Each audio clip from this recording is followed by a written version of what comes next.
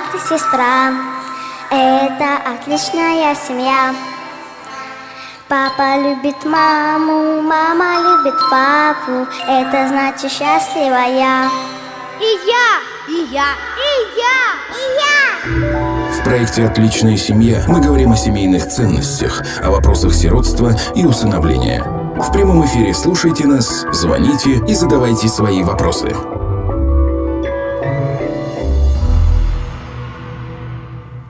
Здравствуйте, друзья!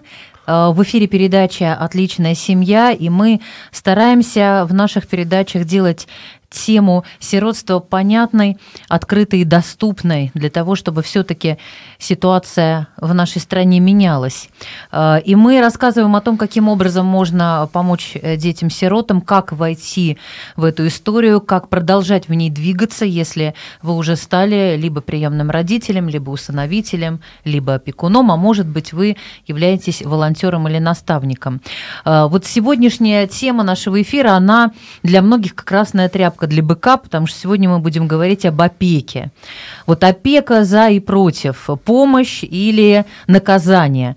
Что э, исходит от органов опеки? Я надеюсь, что мы сможем сегодня э, поднять актуальные вопросы, почувствовать э, запрос, и я к этому приглашаю также и вас, друзья, к нашему участию. Пожалуйста, вы можете писать, звонить и делиться своим мнением, своим опытом с опекой, если у вас таковов, таков опыт был.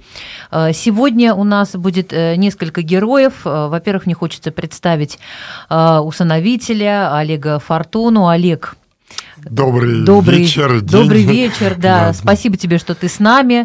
Вот, спасибо, что ты э, подключил своих друзей, также, чтобы этот эфир сегодня состоялся.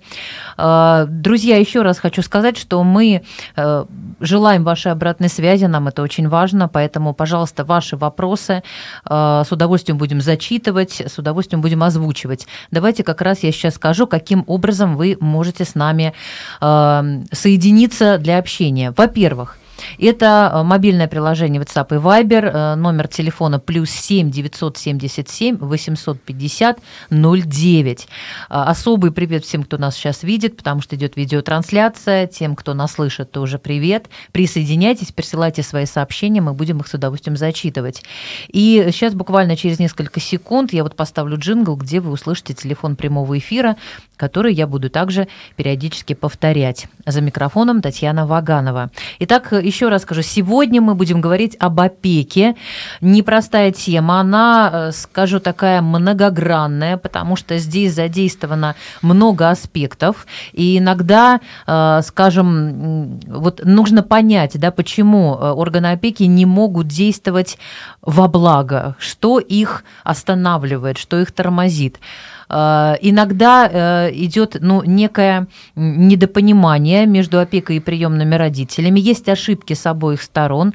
Вот каким образом э, учиться об этом говорить, слышать друг друга и выходить в какой-то здоровый конструктив для того, чтобы самое главное детям-то все-таки было лучше. Вот об этом сегодняшняя наша передача. Итак, давайте буквально несколько секунд, и мы с вами э, начинаем наш прямой эфир, поэтому, пожалуйста, не переключайтесь, оставайтесь с нами. Россия 21 век. Век нанотехнологий и скоростей. Но оглянитесь вокруг. По-прежнему есть дети, которым нужна поддержка, нужна семья. Хватит ждать. Пришло время действовать. Пришло время стать Россией, Россией без сирот. Телефон прямого эфира 8 800 333 1706. Итак, друзья, мы сейчас в прямом эфире и говорим мы сегодня об опеке. Олег Фортуна у нас в гостях. Олег, э, ты как э, такой многодетный отец, многоопытный уже, потому что давно в этой теме. Вот в прошлый раз мы с Олегом э, разговаривали, и он рассказывал, что он вошел в эту непростую тему сиротства, помощи детям с 18 лет. Вот, а сейчас он уже зрелый муж. Вот, молод э, и свеж, конечно, но зрел. То есть уже ты сколько в этой теме получается? Больше, Долго. Больше 20 лет. Больше да. 20 лет. Ну и, в общем, ты тоже всякого насмотрелся-то за свою жизнь. Я имею в виду взаимоотношения с опекой. Вот лично твой сценарий в основном какой был, положительный или э, грустный? Ну, в основном, конечно, он был положительный, причем... Это радует уже. Да, но... Это радует. Причем я много где жил, и как показывает, ну, это мой личный опыт, да, то есть это не аксиома, где-то в провинции, в районах не то, что лояльней, как-то люди добрее, да, чем в крупных городах. И, соответственно, найти язык с органами опеки где-то в регионе гораздо проще, чем, например, здесь в Москве. То есть люди более человечные, более теплые, открытые. Да. Ну, ментальность такая. Да, тоже. ну, видимо, угу. ну, сказывается такая местечковость, да, всех всех знают, и как-то да. вот и в этом плане это хорошо. Да, и в этом плане может быть хорошо, может быть плохо. Вот да? чем ближе к центру, вот. значит, тем больше контроля и больше, ну, как бы такой буквы закона. Я бы не сказал, что, с одной стороны, больше контроля, да, когда ты живешь в провинции, э, ты на виду у всех да, то есть там каком-нибудь... Поэтому тебя контролируют все. Да, ну не то, что контролируют все, да. Ну я уже то пошутила, есть, э, да. Да, то есть как бы, ну, деревня, она есть деревня, всех всех знают. Конечно, да. на одном есть, углу чихнул, на другом сказали, будьте здоровы. Да, то есть и как такого контроля, ну, в понимании, что мы имеем в крупных городах нет, да. То есть все всех знают, все все видят, там, дети сотрудников органов опеки, там, дружат там э, с приемными детьми, да, то есть там с семьей, которая живет в соседнем доме, да, то есть как-то ну, Понятно. Такое. То есть вот этот близкий контакт, он больше располагает, даже не то, что располагает, а близкий контакт, он как бы рождает а, априори, ну, некое доверие, потому что а. люди на виду живут, вот их вся жизнь, она на виду. Да, у, мы когда всех. Э, э, еще не было гостевого режима, угу. ну, я брал детей из детского дома, то есть ну, на выходные, в гости. Вот, и, соответственно, ну, надо было когда бумажками-то подкрепиться, да, то есть и получал заключение возможности быть опекуном.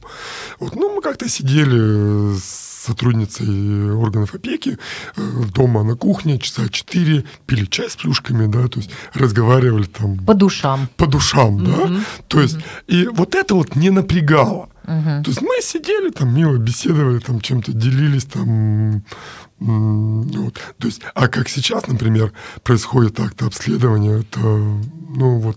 Практически по-полицейски. Да. Да, приходит по вот протоколу. По протоколу с такими листами. Там, лампу в глаза, смотри, смотри на меня. И вот это вот как-то немножко вот напрягает. Вот нет такой вот душевности, что ли.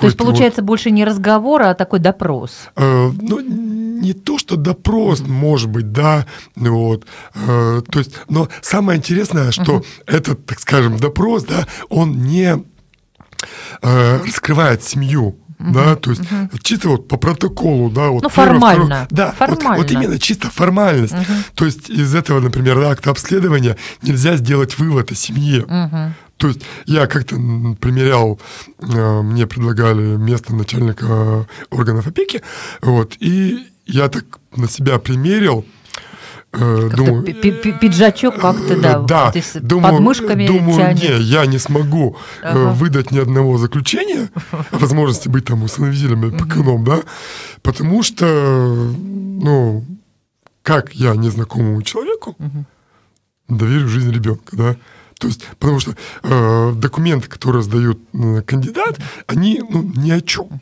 То есть да, не судим, да, здоров, и все.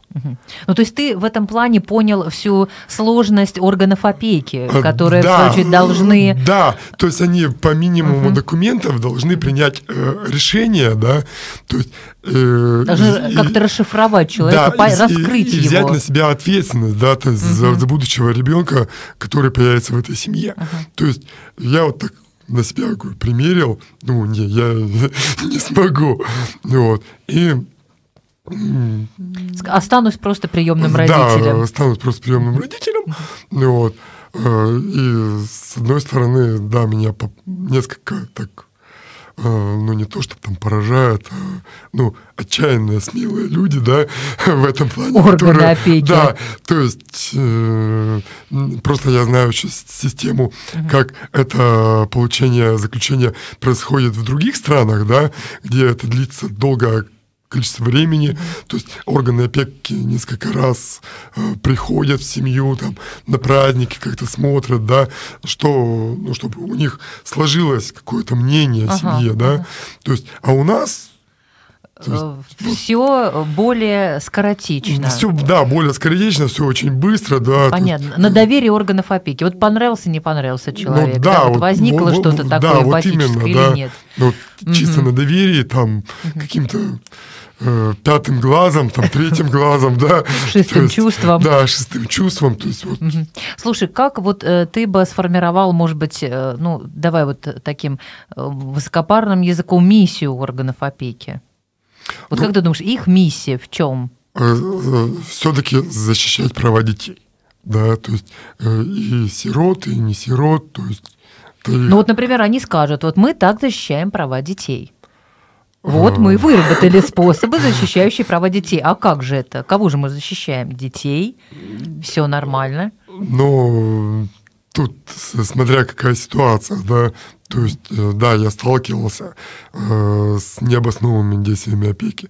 То есть мы судились несколько раз. Ну, не, угу. не как приемный родитель, да, а как юрист. Угу. Э, и сейчас у меня в процессе там идут э, несколько консультаций, несколько дел, да, то есть, ну, против органов опеки. Э, ты знаешь, вот насколько я поняла из того, что ты сказал, вот миссия органов опеки, конечно, в первую очередь лозунгом да, защищать права детей, это никто не оспаривает, но вот все, что прозвучало, вот ключевое, это неформальная защита Э, э, интересов детей. То есть неформально к этому подходить. Неформально подходить к кандидату в приемные родители, неформально подходить к самой семье, неформально подходить к самому ребенку, то, к, к самому ребенку. То есть больше личностного погружения, больше контакта. Э, да, согласен, но закон не позволяет этого, да?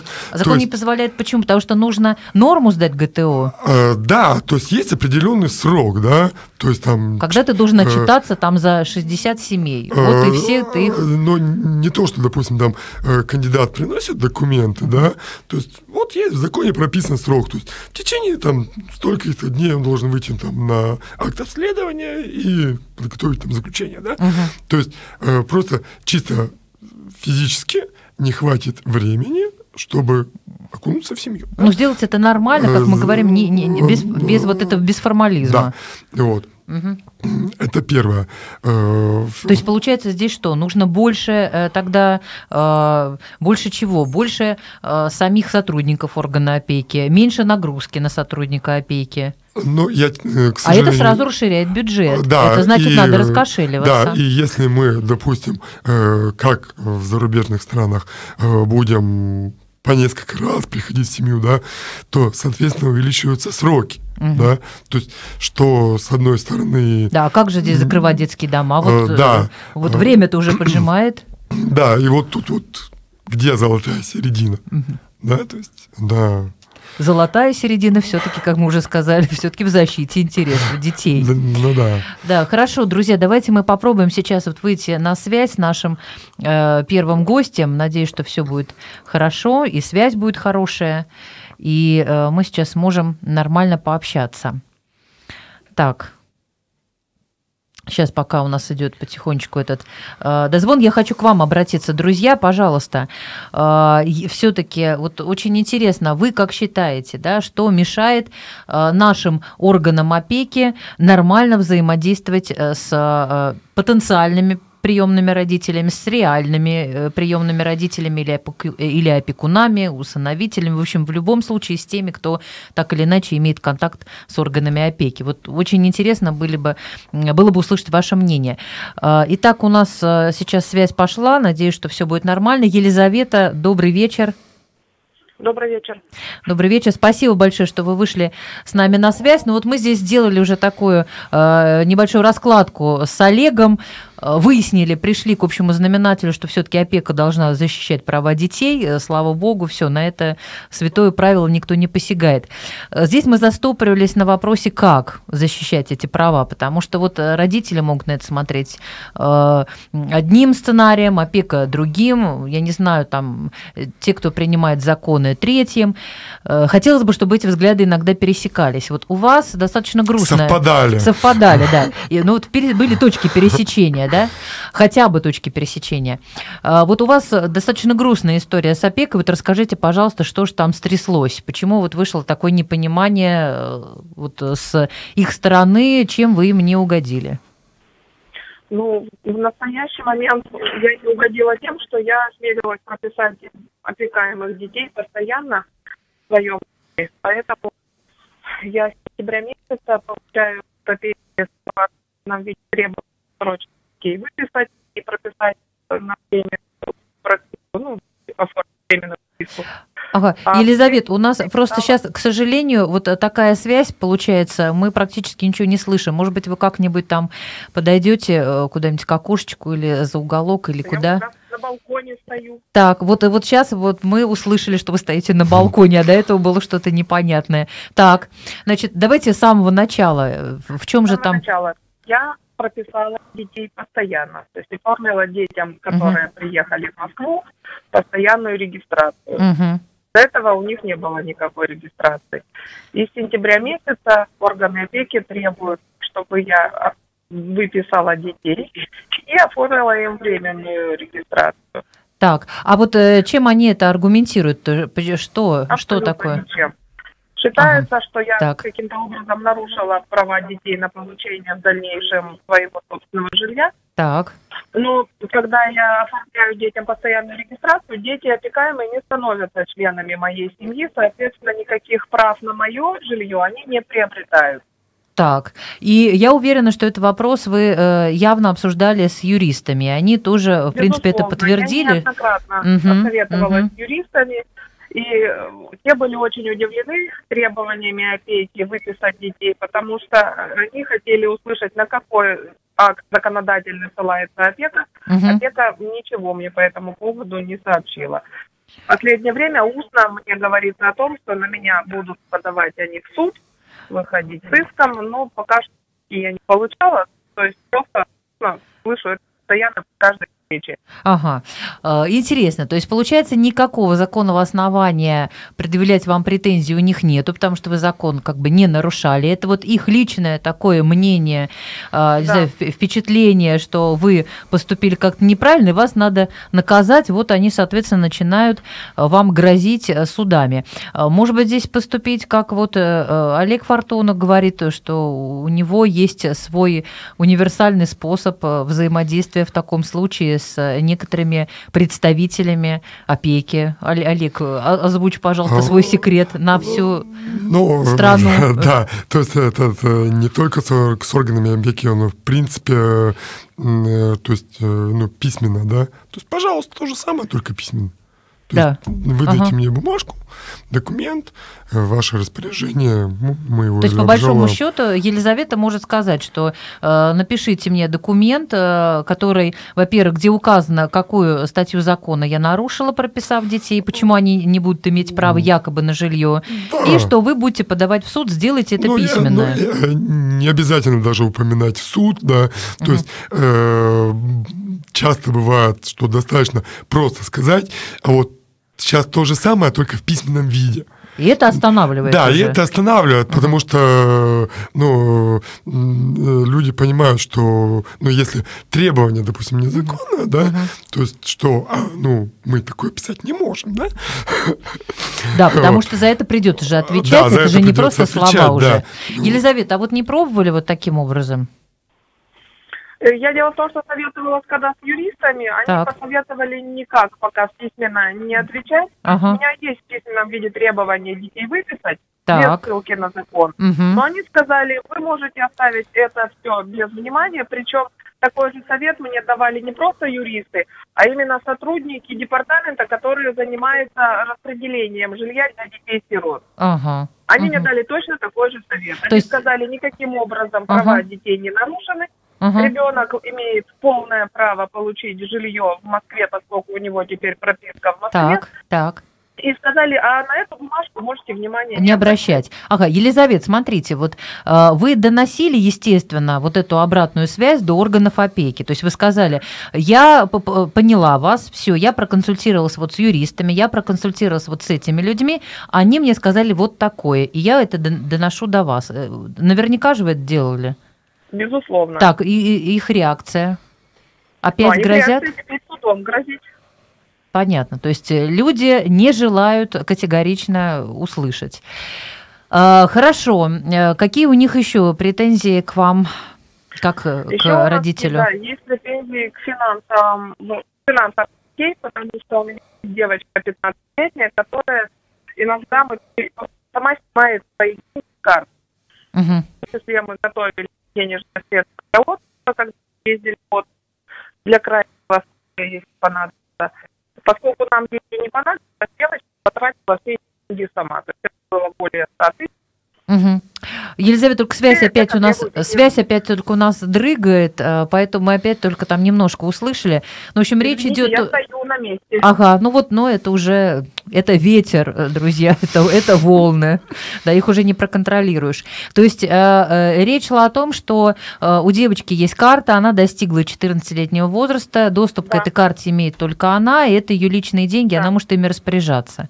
А с вас почему-то все это дело стрясывают и говорят, что вы должны пополнять теперь ее счета. Да, то есть вернуть угу. эту сумму я должна назад на ее счет или карту. Угу. Или ага, опять они вот, э, вот это вот, э, все вот эти претензии-то у них, это, а, я говорю, просто э, опять, вот они идут, мы так считаем, вот это нам так кажется, или они все-таки на что-то ссылаются? Нет, ни на что не ссылаются. Они сказали, что они считают, что это денежные средства ага. не пенсия в данный текущая, а это уже имеется в виду, что это имущество ребенка, которое я должна сохранять, а не тратить без их разрешения. Угу. То есть у них основной аргумент, что это без их разрешения было угу, сделано. Угу.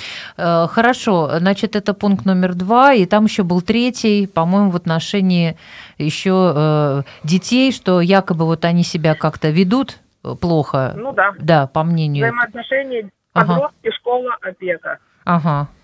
И здесь тоже получается э, такой как бы замкнутый треугольник, потому что особо и школа не идет на э, некое участие, ну, понимание, да, вот особенности детей, то, что они попали в семью в подростковом возрасте, что они не так давно в семье, и здесь очень много проблем, которые надо разбирать. А опека, что делает опека у нас? Ну, опека собирает опекунский совет, который обычно собирается не, судя по моему опыту, не решить проблему, а высечь опекуна. Ага, ага.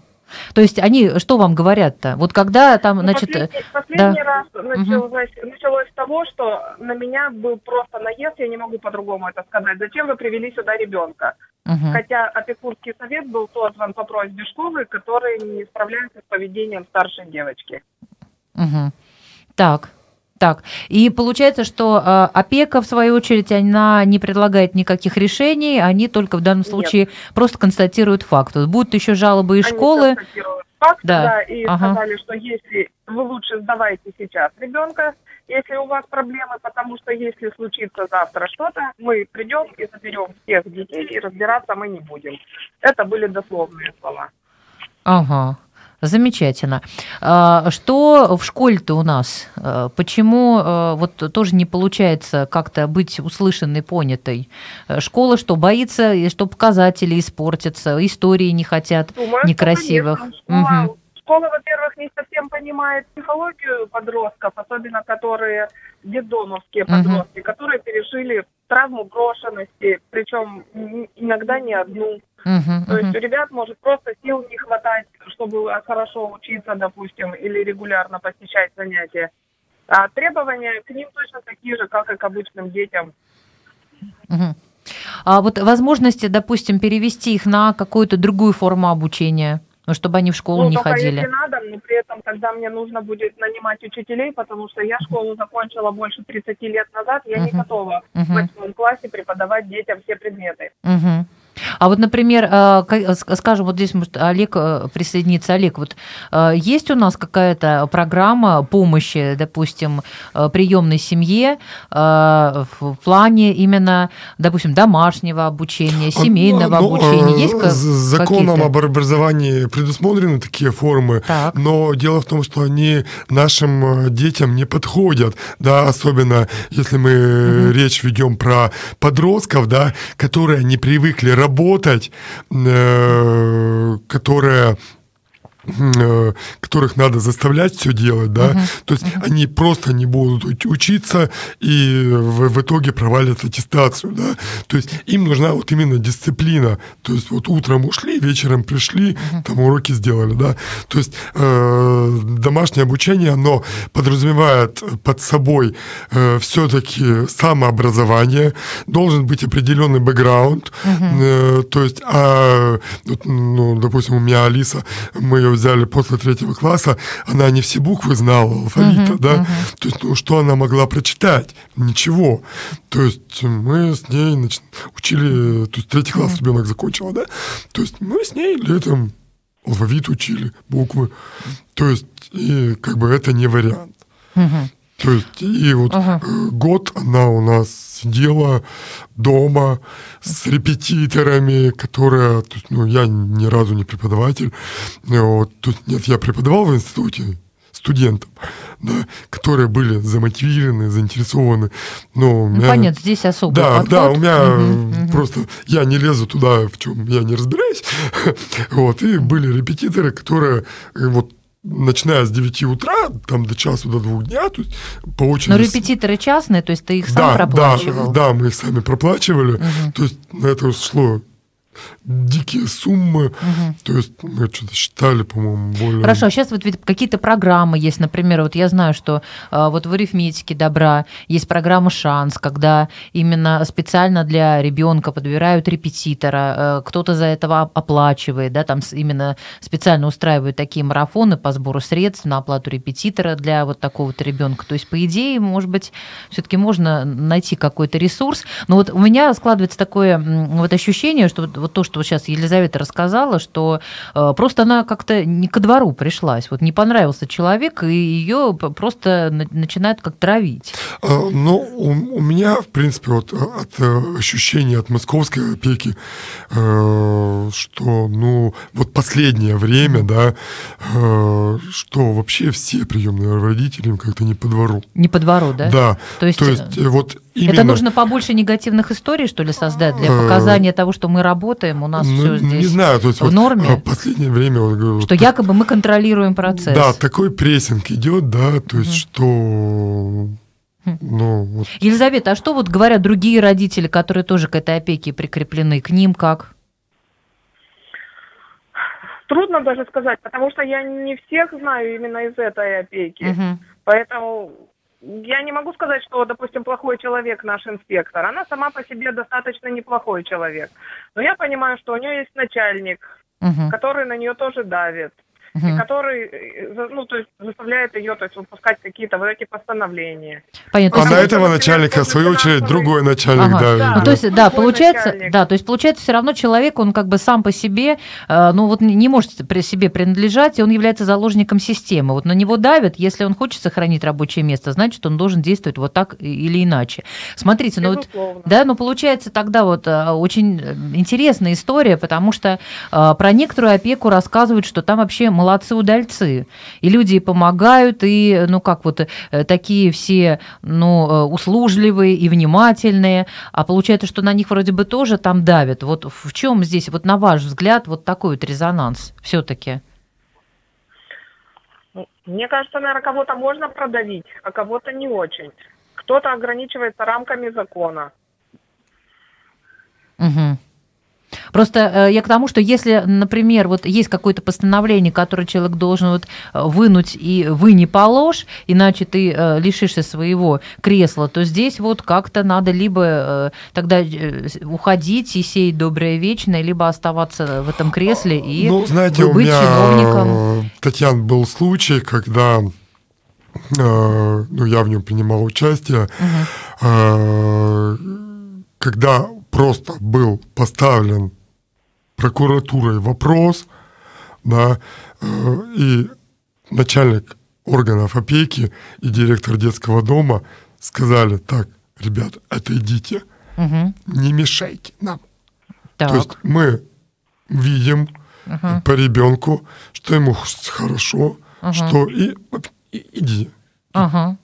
То есть э, человек смогла на себя принять ответственность, да, то есть принять решение волевое, принять ответственность и Раз, разрешить эту ситуацию. Да, то ага. есть не побоялась там кар небесных, там каких-то угу. высшего начальства, то есть угу. и все да, но это требует, конечно, определенных усилий, э, э, моральных, душевных, психологических. Ну да, это... И, и, и так далее, да, то есть нужно э, все время, каждый ну, день а, совершать... Просто этот человек, начальник органов опеки, она сама приемная мать. Ага. То есть и она действительно всегда была на стороне детей, на стороне кандидатов и Понятно. И, в общем, женщина, закаленная в боях э, наших, э, а, ну, как сказать-то, ладно, нашей действительности. Елизавета, спасибо вам огромное. Спасибо, что вы поделились, потому что для нас это было очень важно. я очень надеюсь, вот желаю вам от всего сердца, чтобы, несмотря ни на какие там а, претензии к вам, эта ситуация все-таки разрешилась. Вот пусть Спасибо это будет. Большое.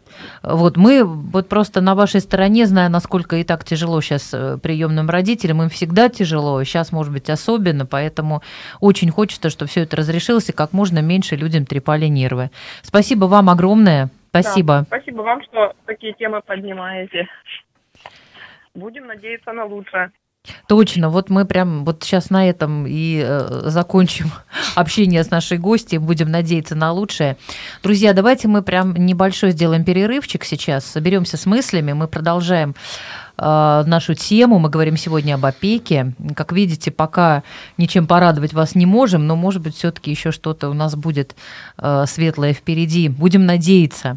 Итак, буквально через несколько секунд мы снова с вами в прямом эфире и будем продолжать говорить об опеке, помощь или все-таки палки в колеса. Россия 21 век. Век нанотехнологий и скоростей. Но оглянитесь вокруг. По-прежнему есть дети, которым нужна поддержка, нужна семья. Хватит ждать. Пришло время действовать. Пришло время стать Россией без сирот. Телефон прямого эфира 8 800 333 1706. Итак, друзья, э, мы продолжаем нашу тему в эфире «Отличная семья». Сегодня э, с вами общаются я, Татьяна Ваганова, Олег Фортуна, и мы говорим об опеке. И вот э, не хочется, конечно, все, как говорится, смешивать в одну кучу и картину представлять одной краской, но вот после разговора с Елизаветой как-то грустновато сейчас стало. А, и Олег тоже вот прокомментировал свои какие-то наблюдения, что сейчас э, как-то вот краски сгущаются, дышать тяжело, везде прессингуют, потому что давят сверху, и как-то все меньше и меньше человеческого. Получается, что вот кому нужны эти бумажки? Бумажки, отчеты, галки, э, какое-то создание э, деятельности именно вот, ну вот мы работаем, Хорошо. Но помогает ли это детям? Потому что, помните, мы все-таки говорили о главной миссии опеки, это помощь, помощь детям, но неформальная помощь. А, вот э, скажи, пожалуйста, это, э, вот, это появилось а, сейчас в связи, может быть, с определенными обстоятельствами, э, временем, не знаю, да, или по большому счету вот такое отношение опеки к приемным родителям, оно наблюдалось практически всегда. Э, ну, во-первых, надо понимать, что когда мы на это шли, когда мы на это подписывались, да, стать приемными родителями, э, ну, каждый приемный родитель понимал, э, что он будет зависеть от государства, отчитываться перед государством, да, потому что все-таки государство обязано по закону контролировать и ну, были на это готовы. То есть, так скажем, ну, я не знаю, тучи, наверное, стали сгущаться, когда по крайней мере в Москве, да, угу. когда мы перешли под э, департамент социальной защиты. То есть до того, когда были в муниципалитете, то есть как-то все было нормально. Да, были отчеты, причем э, эти отчеты были, мы там и чеки прикрепляли, и все. То есть сейчас этого нет. Но все равно как-то вот было я говорю, вот э, какая-то вот душевность была, да, да? Угу. то есть почеловечнее, то есть сейчас все вот, вроде бы бумажек мало, э, ну по крайней мере мы как приемные родители там угу.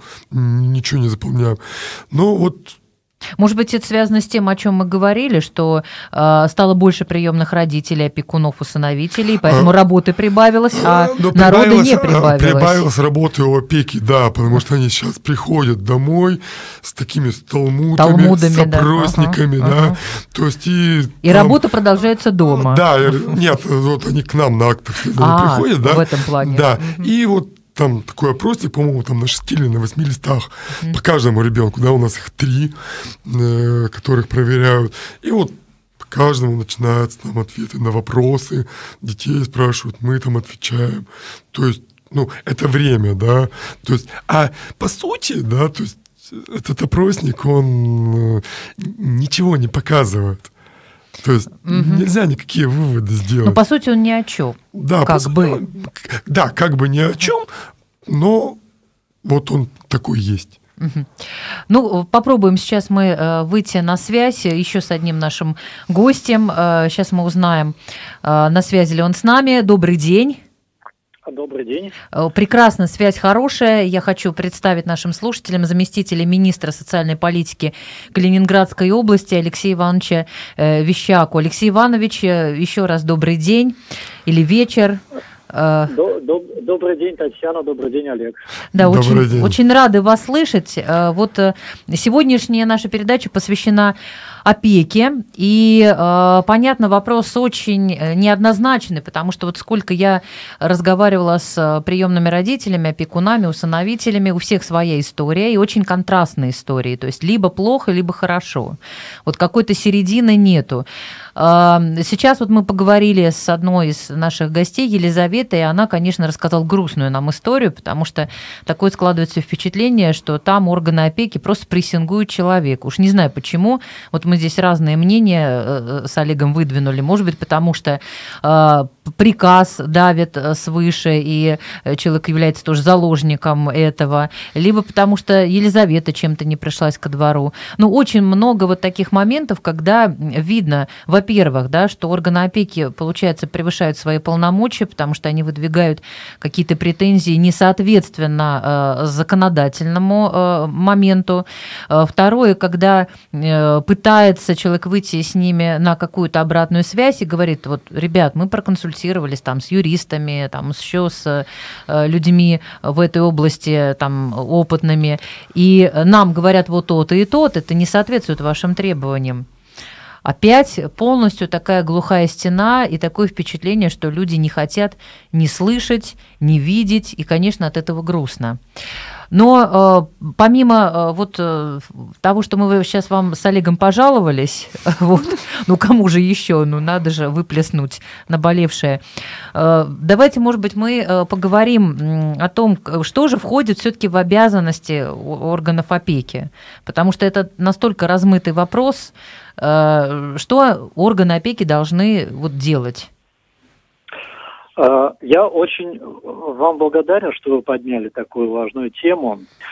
А, ни в коем случае не хочу быть адвокатом э, органов опеки, а, но попробую рассказать о разных сторонах э, работы специалистов по опеке. Uh-huh. Вот мы с коллегами считали, э, что сегодня у специалистов органов опеки чуть больше 52 функций которые они должны выполнять. И зачастую это функции очень э, такие разнонаправленные. Uh-huh. То есть это и сделки э, с имуществом, это и устройство и выявление детей, это и э, беседы э, с опекунами, с приемными родителями, с детьми, то есть разрешение каких-то конфликтных ситуаций. Uh-huh.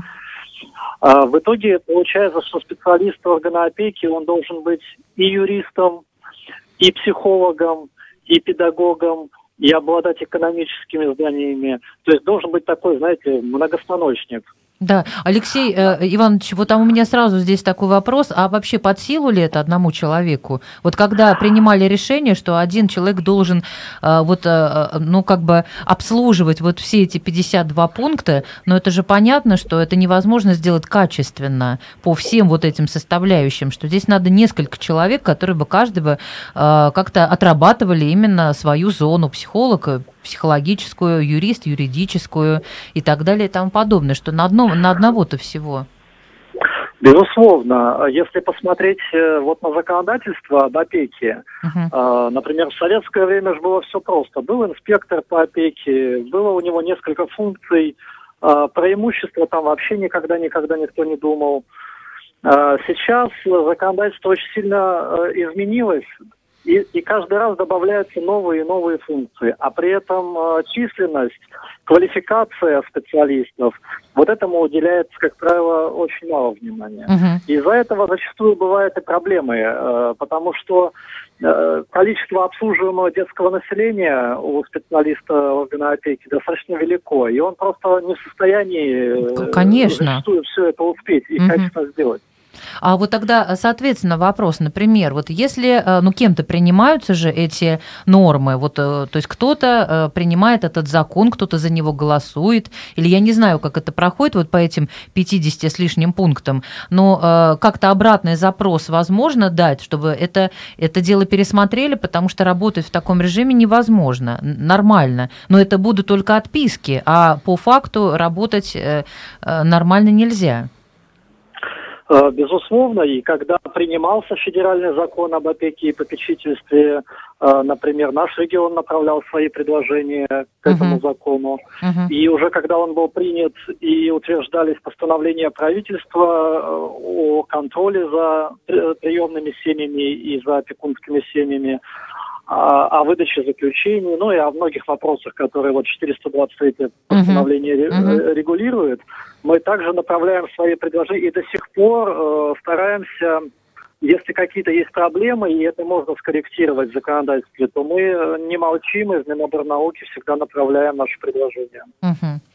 Понятно, да, но как-то на них э, ну, нет, нет. Ну, сейчас основная... Нет, про... нет, вы знаете, я не соглашусь. Например, э, после ряда вот форумов приемных родителей, в том числе э, от того, что мы эту проблему ставили, отменили, на мой взгляд, излишние требования о предоставлении чеков mm при сдаче отчетов. mm Это очень важная норма. А второе, заработали номинальные счета, когда не нужно опекунам и приемным родителям брать разрешение органов опеки на расходование средств с номинального uh-huh. счета. Uh-huh. Uh-huh. И много чего другого. А, меняется, но, скажем так, медленно. Меняется медленно, да. А вот медленно. как вы думаете, меняется медленно в связи с чем? Вот с тем, что надо какие-то новые законы принимать тогда?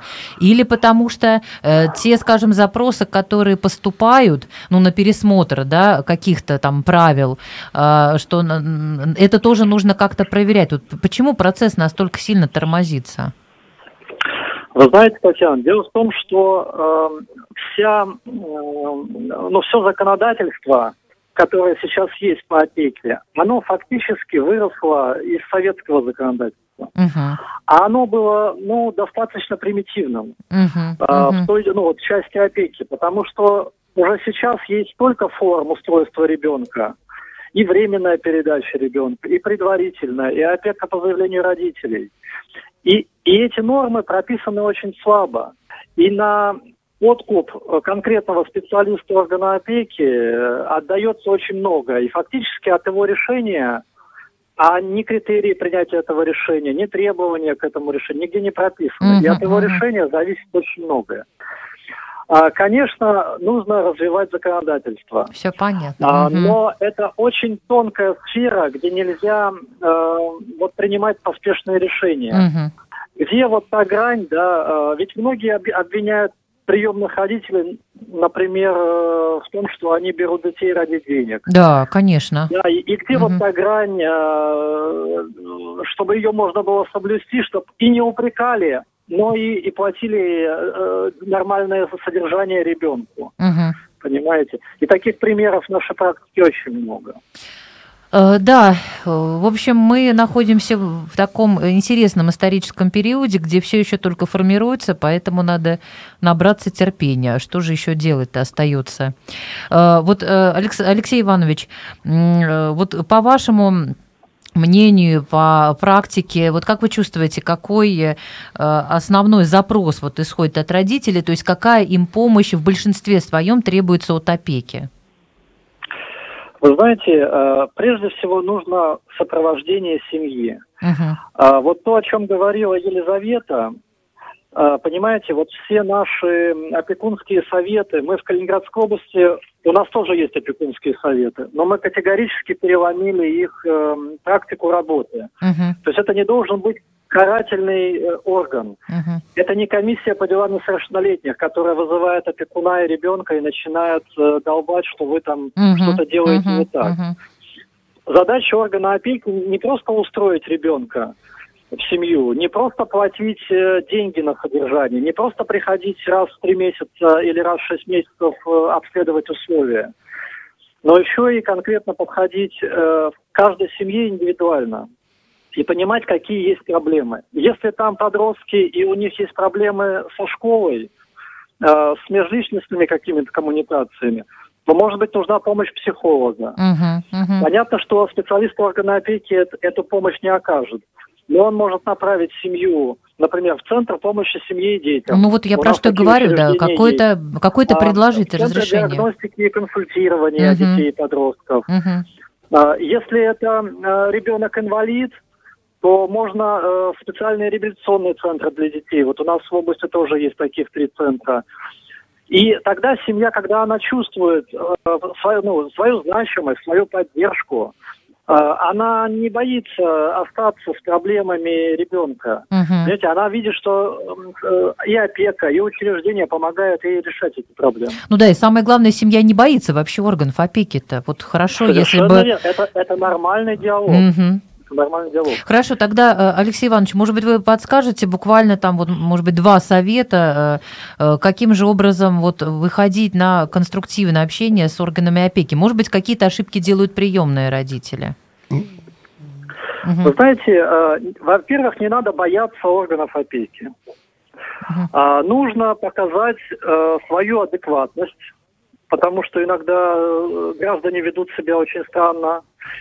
А, показать знание законодательства. Угу. Вот, то есть, что вы подготовлены по всем угу. фронтам. Угу. Вот. Категорически спорить э, со специалистами не надо, но нужно э, очень четко отстаивать свою точку зрения, угу. аргументируя это нормативными актами. Угу. Ну или, по крайней мере, э, практикой, э, либо если человек советовался с юристами, то uh-huh. на это мнение. Если э, сталкивается человек со стеной непонимания, то тогда нужно пообщаться с, начальником, специалистом. Uh-huh, uh-huh. Вот. Если э, есть совсем э, ну вот непонимание да. в конкретном uh-huh, органе uh-huh. опеки, да, то э, либо пообщаться с уровнем повыше, угу. либо, может быть, привлечь э, уполномоченного по правам ребенка. В крайнем случае можно обратиться в прокуратуру угу. и обжаловать угу. незаконные действия. Угу. Спасибо вам огромное, спасибо, что вы были с нами, потому что вы очень много сейчас сказали важного. Я уверена, что кто-то для себя что-то получил сегодня. Спасибо вам большое. Спасибо вам. Спасибо. Всего доброго. Э, друзья, хочу сказать, что у нас был сейчас заместитель министра социальной политики Калининградской области Алексей Иванович Фищака, и я думаю, что Алексей Иванович все достаточно, э, ну, как сказать, рассказал достаточно честно, искренне, э, абсолютно не, не противоречия тому, вот, о чем как-то мы говорили да, да. выше, и общаясь с Елизаветой в том числе. Друзья, вот у нас эфир очень быстро подошел